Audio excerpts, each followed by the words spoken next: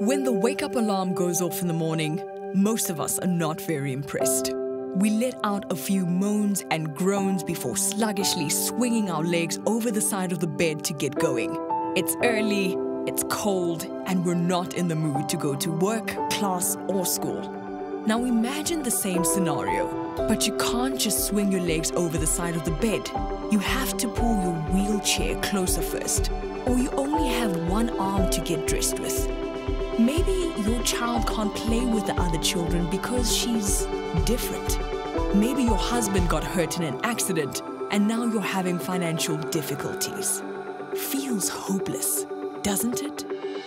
If you are the kind of person that will love helping people integrate back into society and become an independent individual with self respect and dignity amidst the physical challenges and limitations they may have, you are an occupational therapist at heart.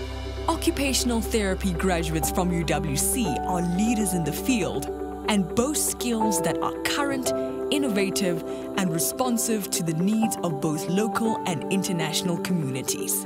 Enroll today and be a beacon of hope for a child, adult, senior citizen, human in need.